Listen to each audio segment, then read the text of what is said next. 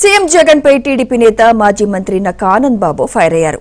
అక్కా చెల్లమ్మలను మోసగించడానికి సీఎం జగన్ ఉరవకొండలో కొత్త అబద్దాలు చెప్పాడని విమర్శించారు.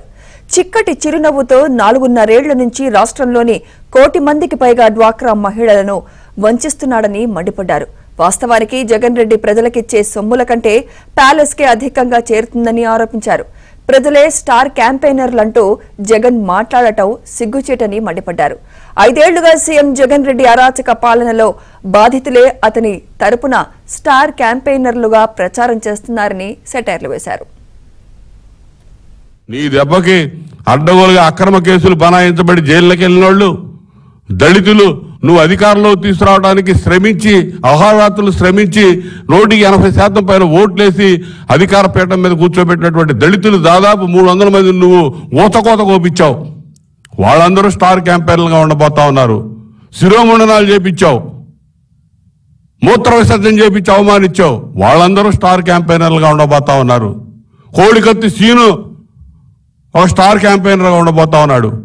అబ్దుల్ సలాం మైనార్టీ కుటుంబం అబ్దుల్ సలాం కుటుంబం నీకు స్టార్ క్యాంపెయినర్గా ఉండబోతా ఉంది.